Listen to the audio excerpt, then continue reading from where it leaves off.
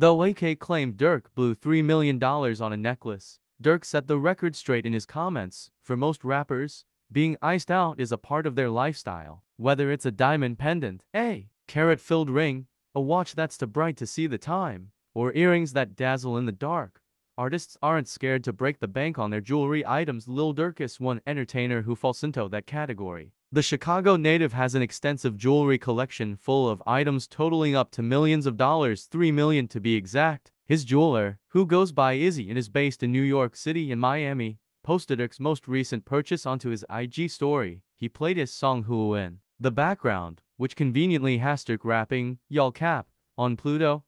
I just spent 3 million just with Izzy, Izzy showed a silver diamond necklace and wrote, at Lilder Humble it was more than three puffing emoji. One carat each do the math, DJ Akademiks, a music and pop culture. Commentator shared Izzy's post with his nearly 5 million followers and wrote, Durk spent over $3 million with his jeweler. As the post began to generate likes, it caught the attention of Durk himself. He hopped into AK's comments and wrote, Lol hell nah bro chain was to 50 to 60.